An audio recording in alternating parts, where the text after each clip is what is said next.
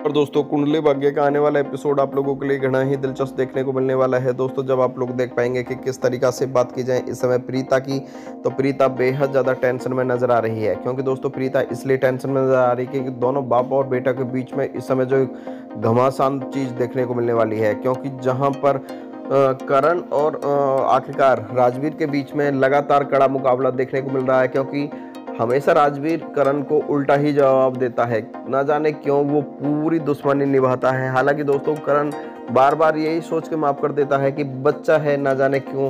अगर मेरा बेटा होता तो क्या मैं उससे भी ऐसे करता? क्योंकि वो अपना बेटा समझ के माफ़ कर देता है कि मेरे बेटा जैसा ही है।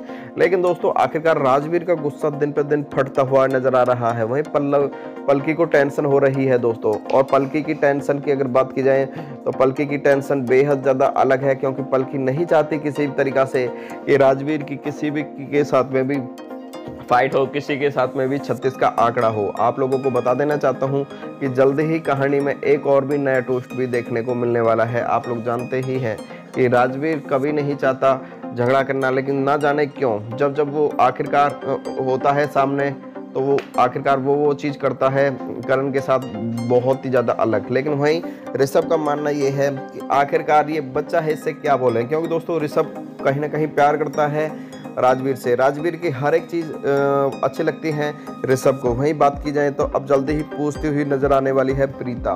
वो भी अपने बेटे से, अपने बेटे से पूछेगी, तुम ये बताओ कि क्या करने गए थे लूथरा हाउस? और लूथरा हाउस में तुम्हारा ऐसा क्या है जो तुम बार बार एक ही चीज़ को इतनी लीगली इनवाइट कर रहे हो। साथ ही दोस्तों, आप लोगों के बीच में मैं हूँ रोहित नागर। चैनल को सब्सक्राइब करने के बाद में वीडियो को लाइक करें एंड कमेंट करके आप लोग मेरे को ज़रूर बताएगा इस thank you so much support के